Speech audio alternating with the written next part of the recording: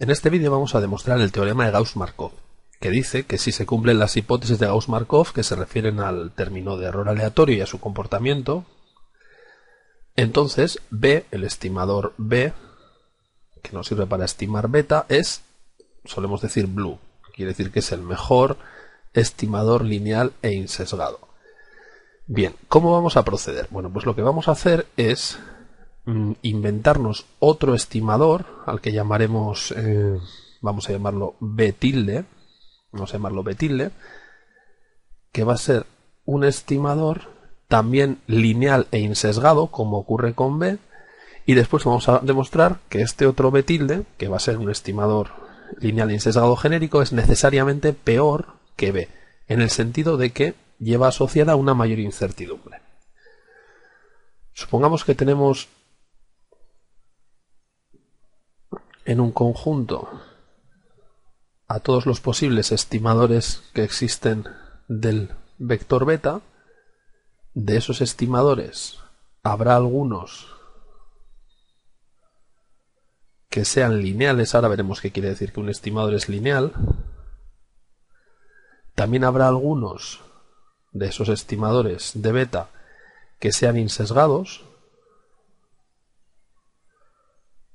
insesgados, nosotros sabemos que B está aquí, aquí está B,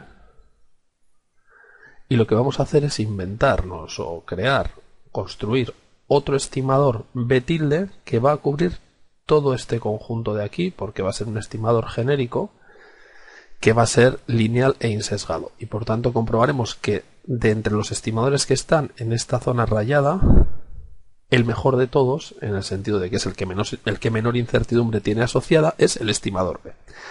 Bueno, pues tenemos que empezar por ver qué queremos decir cuando decimos que B es lineal. Cuando decimos que B es lineal, cuando decimos que B es lineal, lo que queremos decir es que B es de la forma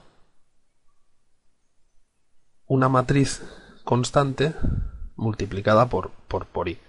Claro, una matriz al final es una combinación lineal, es una transformación lineal de este vector i. Lo que nos está diciendo es que el estimador b es una transformación lineal del vector i. Luego, si queremos inventarnos un nuevo estimador b tilde que también sea lineal, tiene que ser de esa forma. b tiene que tener la forma una cierta matriz constante por, por i y entonces conseguiremos que ese estimador sea lineal. Bueno, pues voy a escribir aquí cuál es el estimador lineal. Vamos a hacer que b tilde, el nuevo estimador, tenga la siguiente forma.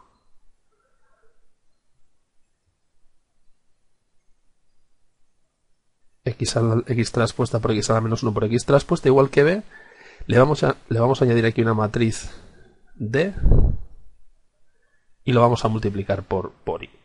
Esta matriz D es constante, por tanto, como esta matriz D es constante, resulta que este estimador de aquí, B tilde, es otro estimador, es un estimador lineal. Con lo cual ya hemos demostrado, bueno, pues que este estimador está dentro de este conjunto lineal que hemos definido aquí. Em, claro, para que B y B tilde sean estimadores diferentes, lo que vamos a hacer es obligar, obligar a que esta matriz D sea diferente de cero.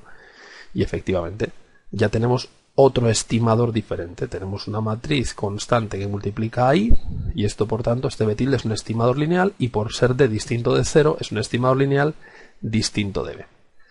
Perfecto.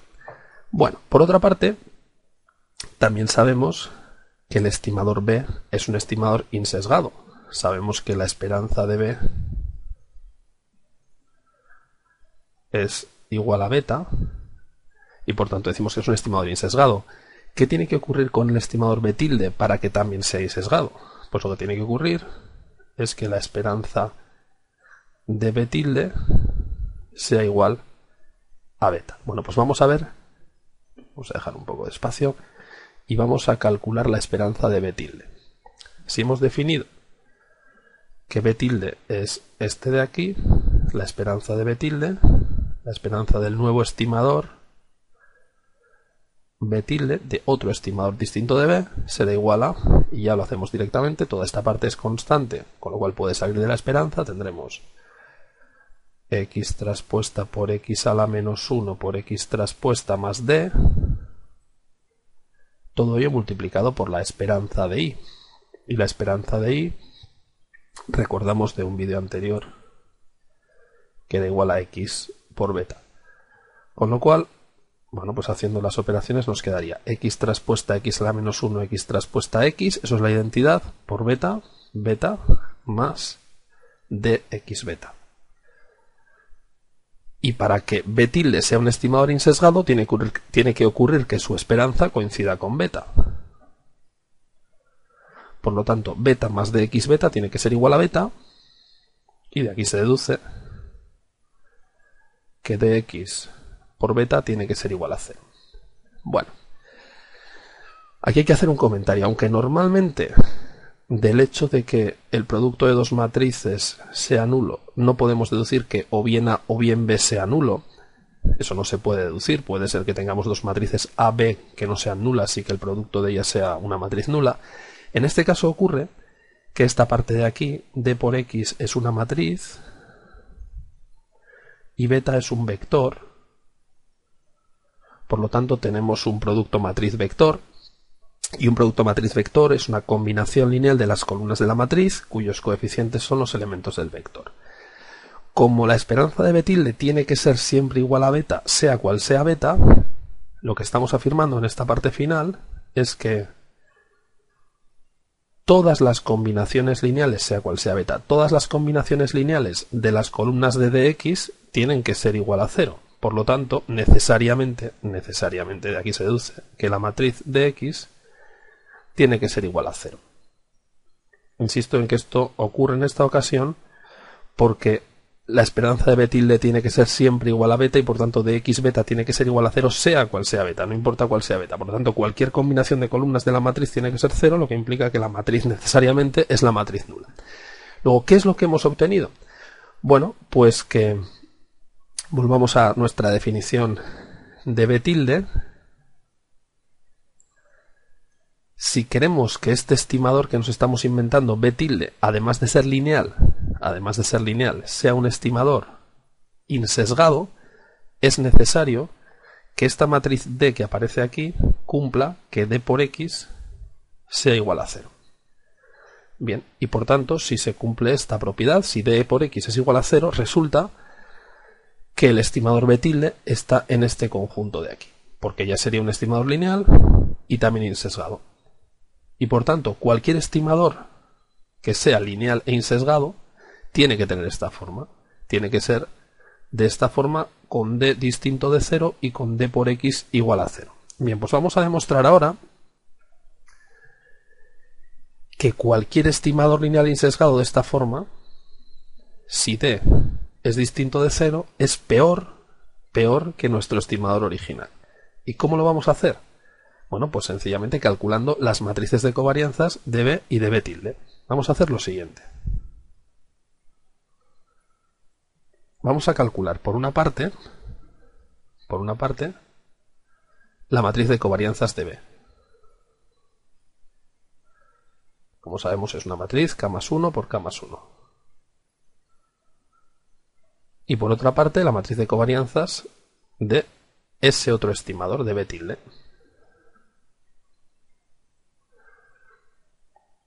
y en cada una de ellas nos vamos a fijar en la diagonal principal. Entonces, si resulta que el elemento que aparece aquí es menor o igual que el elemento que aparece aquí, el segundo es menor o igual que el segundo, y así sucesivamente con todos, es decir, si todos los elementos que están en la diagonal principal de la matriz de covarianzas de B son menores o iguales, vamos a ponerlo aquí, son menores o iguales que los elementos que están en la diagonal principal de la matriz de covarianzas de B tilde, lo que habremos demostrado es que la incertidumbre la incertidumbre del estimador B es menor o igual que la incertidumbre asociada al estimador B tilde y por tanto que el estimador B al tener menos incertidumbre es mejor que el estimador B tilde.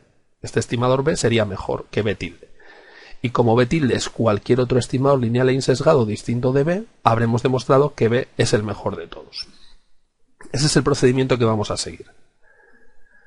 Bien, la matriz de covarianzas de B es una matriz de covarianzas que ya es conocida. Sabemos que la matriz de covarianzas de B es sigma cuadrado por x traspuesta por x a la menos 1. Solo nos falta ahora calcular la matriz de covarianzas de B tilde. Entonces vamos a hacer esas operaciones.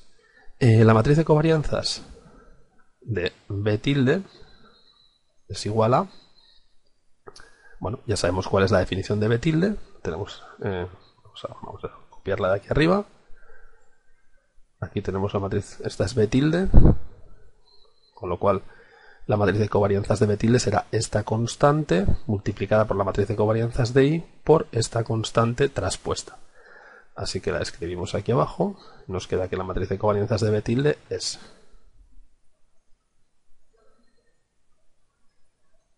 x traspuesta por x a la menos 1 por x traspuesta más d por la matriz de covarianzas de i, de i de la variable dependiente, que es sigma cuadrado por la identidad, y todo ello multiplicado por x traspuesta por x a la menos 1 por x traspuesta más d, todo ello traspuesto. Bueno, y ahora procediendo de la forma habitual, sigma cuadrado pasa al comienzo, la identidad desaparece porque está multiplicándose con otras matrices, pues nos queda que esto es igual a sigma cuadrado. Dentro del primer corchete nos queda exactamente la misma expresión.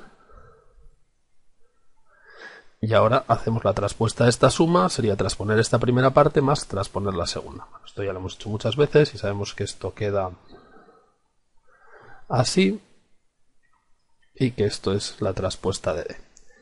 Y ahora vamos haciendo estos productos y obtenemos sigma cuadrado por y aquí tenemos x traspuesta x a la menos 1, x traspuesta x es la identidad. Luego nos queda esta parte de aquí. x traspuesta por x a la menos 1. Después nos queda esto por eh, esta primera parte por d traspuesta, luego nos queda más x traspuesta por x a la menos 1 por x traspuesta por d traspuesta, más d por x por x traspuesta por x a la menos 1 y finalmente más d por d traspuesta.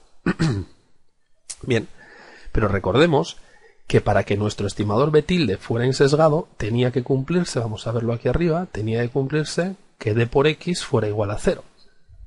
Si d por x es igual a 0, podemos eliminar este elemento de aquí porque tenemos d por x y aquí tenemos también, esto es lo mismo que d por x traspuesto, traspuesta de x por traspuesta de d, por lo cual este término también lo podemos eliminar. Y nos queda, nos queda que la matriz de covarianzas de B tilde es sigma cuadrado por x traspuesta por x a la menos 1 más d por d traspuesta. Bien, con lo cual pues ya la tenemos calculada y lo podemos escribir aquí. Esta matriz de covarianzas de esta B tilde, la matriz de covarianzas de B tilde es igual a sigma cuadrado multiplicado por x traspuesta por x a la menos 1 más d por d traspuesta. Bien, pues lo que vamos a hacer para terminar es la resta entre esta matriz de covarianzas y esta matriz de covarianzas. La diferencia de covarianzas de B tilde menos covarianzas de B será, pues bueno, esta parte se nos irá con esta parte de aquí y nos quedará sigma cuadrado de d por d traspuesta. Vamos a escribirlo más abajo tendríamos